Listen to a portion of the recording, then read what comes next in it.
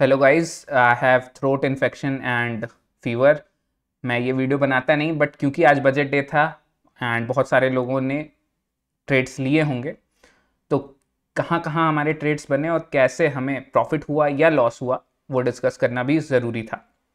तो अगर देखिए, हमारा डिस्कशन यही हुआ था कि 12 बजे के बाद अगर तीन मिनट के टाइम फ्रेम पे निफ्टी में कोई ऐसी कैंडल बनती है जो सुपर ट्रेंड को टच करे और सुपर ट्रेंड का कलर चेंज ना हो।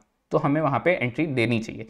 बारह बज के अट्ठारह मिनट की कैंडल को अगर आप ध्यान से देखेंगे तो मार्केट में ऐसी ही एक कैंडल बनी। यहाँ सुपर ट्रेंड से टच भी हुआ और सुपर ट्रेंड का कलर भी चेंज नहीं हुआ। रेड का रेड ही रह गया। तो यहाँ पे हमारी एंट्री हुई। हालाँकि within a minute market बहुत अच्छा रिवर्सल दिखाया। ऑलमोस्ट 0.30 परसेंट का शार्प रिवर्सल आया था मार्केट में। और क्योंकि एक मिनट के अंदर आया था ये रिवर्सल तो बहुत सारे लोग होल्ड कर जाते हैं। मैं होल्ड करने वाला व्यक्ति नहीं हूँ। जैसे ही मार्केट 0.15 परसेंट हिट किया, मैंने स्टॉप लॉस ले लिया था यहाँ पे। हालाँकि एक लोगों ने इंस्टाग्राम पे मुझे मैसेज किया कि उन्हें प्रॉफिट हुआ। तो आई आस्क्ड कि कैसे प्रॉफिट हुआ? क्या हमारी जो डिस्कस स्ट्रेटेजी थी, उसी को उन्होंने यूज़ किया? तो उन्होंने बोला यस यहाँ पे उन्होंने ट्रेड में एंट्री तो की, लेकिन जब मार्केट एक मिनट के लिए ऊपर गया तो उन्होंने स्टॉप लॉस नहीं लिया। उन्होंने होल्ड कर दिया कि मार्केट हो सकता है रिवर्स कर जाए। और उनके होल्ड करने के कारण उन्हें प्रॉफिट हुआ और वो कहीं यहाँ कहीं निकले तो उन्हें अच्छा प्रॉफिट भी हो गया। ऑल दो मैं ऐसा प्राणी हूँ नहीं कि अपने सिस्टम को तोड़ूं तो मैंने तो स्टॉप लॉस ले लिया था। हो सकता है आप में से बहुत सारे लोगों ने यहाँ पे ट्रेड लिया हो, और अगर सिस्टमैटिक ट्रेडिंग करना है तो यहाँ पे आपको स्टॉप लॉस भी मिला होगा। लेकिन अगर होल्ड किए होंगे तो आपको प्रॉफिट भी हो सकता है, जैसे उनको प्रॉफिट हुआ यहाँ से लेकर यहाँ तक उन्होंने होल्ड किया और उन्हें प्रॉफिट हुआ। एक और बात उन्होंने ये बोली कि हमारी जो एनालिसिस थी कि मार्केट 1.70 परसेंट जो मूव कर जाता है, उसके बाद हो सकता है रिवर्सल आए। कल मैंने एक रील भी डाली थी शॉर्ट्स में बताया था कि 1.70 परसेंट के बाद मार्केट कहीं ना कहीं रिवर्सल दिखा सकता है। अगर आप ध्यान से देखिए तो दो परसेंट के लगभग जैसे ही मार्केट गया, इस कैंडल के बाद मार्केट ने एक शार्प रिवर्सल दिखाया। हमने ये डिस्कस किया था कि अगर मार्केट में दो परसेंट का मूवमेंट आ जाए डेढ़ percent, one point seven percent का मूवमेंट आ जाए तो कहीं ना कहीं एक रिवर्सल आपको देखने को मिल सकता है। वहाँ पे आप प्रॉफिट बुकिंग कर सकते हैं। तो यहाँ पे बहुत सारे लोगों ने होपफुली प्रॉफिट बुकिंग की हो और उन्हें प्रॉफिट हुआ हो। हालाँकि अगर सिस्टमैटिकली आप ट्रेड ले ही रहे थे तो यहाँ पे आपको लॉस मिल जाना चाहिए, जैसे मुझे यहाँ पे लॉस हुआ। उसके बाद दूसरा ट्रेड हमारा यहाँ कहीं बना। ऑलमोस्ट 127 के लगभग मार्केट ने हमें एक और एंट्री दी। यहाँ पे एंट्री तो हुई, लेकिन फिर से हमें स्टॉप लॉस यहाँ पे मिल चुका था। और तीसरा ट्रेड जो हमें मिला, वो 248 के लगभग कहीं पे मिला था। 242 245 के लगभग। यहाँ पे भी हमारी एंट्री हुई, यहाँ से मार्केट फिर से हमें स्टॉप लॉस दिया। तो अगर देखा जाए तो तीनों ट्रेड्स में हमें स्टॉप लॉसेज मिले हैं, जो हमारे रूल बेस्ड ट्रेडिंग हम कर रहे थे। उसमें हमें बजट डे के दिन लॉसेस हुए हैं तीनों ट्रेड में। अगर आप ये सोचेंगे कि स्ट्रेटेजी काम नहीं करती तो आप जाके बैक टेस्ट कर सकते हैं। बहुत सालों तक स्ट्रेटेजी काम किया है। इट्स ऑल अबाउट प्रोबेबिलिटी आप प्रोबेबिलिटी पे ही ट्रेड लेने की कोशिश करते हैं। कभी कभी मार्केट में वॉलिटिलिटी ज़्यादा हो जाती है। मैंने एक मिनट का चार्ट भी चेक किया। एक मिनट के टाइम फ्रेम पे शायद हमें बेटर ट्रेड्स मिले थे, लेकिन तीन मिनट का टाइम फ्रेम जो हमने डिसाइड किया था, उसमें तीन ट्रेड्स हमें मिले और तीनों में सिस्टमैटिक तरीके से लॉसेस हुए। और एक और बात ये कि कॉल एंड पुट दोनों होल्ड करके अगर आप बैठे रहते, पूरे एंड तक डे के तो देखिए आपको बहुत बड़ा नुकसान हुआ था। पूरा प्रीमियम डीके हो गया। मार्केट जहाँ खुला था ऑलमोस्ट वहीं आगे क्लोजिंग दे दिया।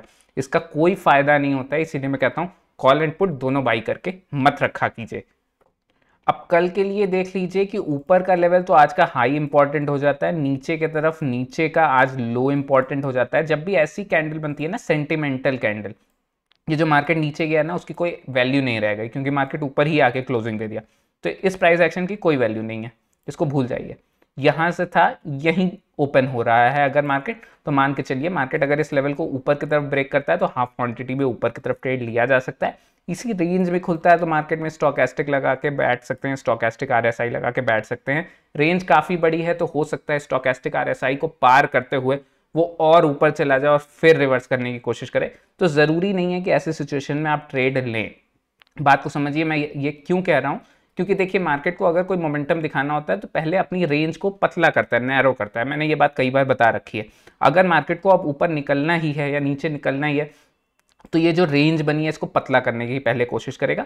मार्केट साइडवेज होगा, छोटा, थोड़ा पतला होता जाएगा रेंज और फिर ब्रेकआउट करेगा तो अच्छा निकल सकता है। हालाँकि एक ट्रेड अच्छा बन सकता है।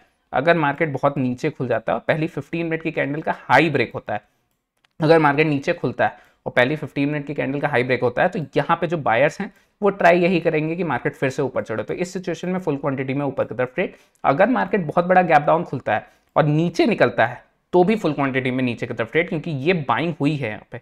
अगर बाइंग को न्यूट्रलाइज कर देंगे सेलर्स नीचे खोल के और नीचे ही निकल के तो बहुत तेज़ी से शार्प सेलिंग आ जाएगी। आज के जितना मोमेंटम कल भी आपको देखने को मिल सकता है। तो अगर बहुत बड़ा गैप डाउन खुलता है और 24,070 के लेवल को क्रॉस करता है नीचे की तरफ़ तो हम नीचे की तरफ़ फुल क्वांटिटी में ट्रेड ले सकते हैं। दो ही सिचुएशन है। अगर मार्केट नीचे खुलता है ऊपर जाता है तो फुल क्वांटिटी में ट्रेड नीचे खुलता है नीचे ही निकलता है तो फुल क्वांटिटी में ट्रेड वरना और सारी सिचुएशन में ट्रेड नहीं लेना मत लीजिए। या लेना है तो हाफ़ क्वांटिटी में लीजिए मान लीजिए कि मार्केट फ्लैट या थोड़ा सा गैप अप खुलता है और आज के हाई को ब्रेक करता है तो हाफ़ क्वांटिटी में ऊपर की तरफ़ ट्रेड लिया जा सकता है। हालाँकि हो ये सकता है कि मार्केट थोड़ा ऊपर जाए और फिर रिवर्स कर जाए।